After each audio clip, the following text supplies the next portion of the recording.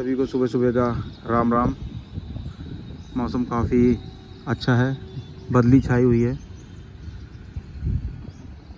आज मैंने सोचा कि जो मेरे टेरेस गार्डन पे कुछ पेड़ लगे हैं, कुछ ज़रूरी पेड़ जो सभी लगाते हैं। आई थिंक सभी के घर में छोटा या बड़ा टेरेस गार्डन ज़रूर होगा। तो मैंने सोचा उसको दिखाता हूँ मैं आज।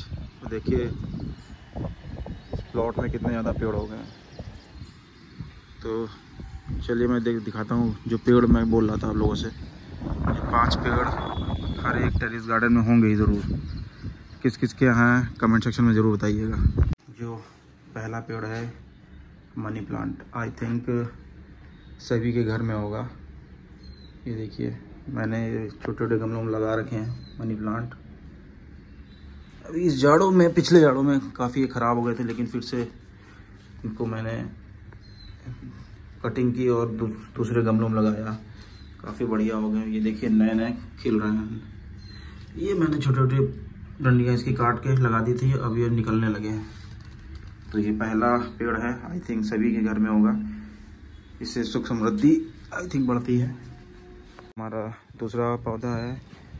इसको तो सभी जानते होंगे, ये तुलसी जी हैं। ये हर एक घर में आई थिंक हंड्रेड परसेंट लोगों के यहाँ होगी।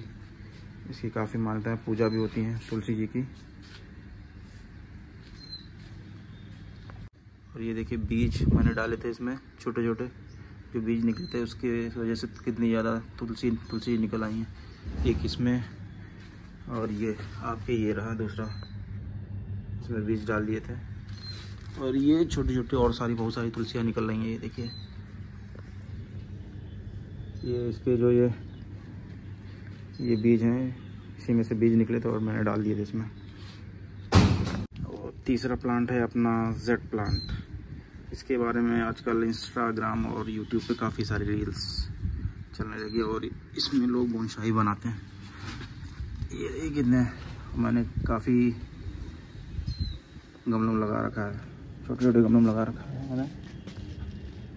और सोच रहा हूँ, तैयारी कर रहा हूँ इसके बोनशाही बनाने के लिए। कटिंग में बीच बीच में करता रहता हूँ, काफ़ी बढ़ चुके हैं इसमें।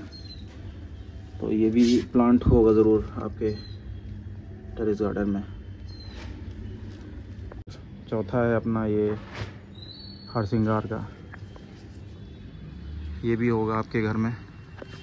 काफ़ी देखिए बड़ा हो चुका है पेड़ हर सिंगार का। और इसमें जाड़ों में ही फूल आते हैं। मैं छत पे ही ये देखिए क्यारी बनवा ली थी। उसी में लगाया हुआ है और काफ़ी बड़ा हो गया है। और उसी के बगल में देखिए ये आपकी मीठी नीम भी निकल आई है। लास्ट एंड द लीस्ट ये तो ज़रूर पेड़ होगा। ये शमी जी का पौधा है।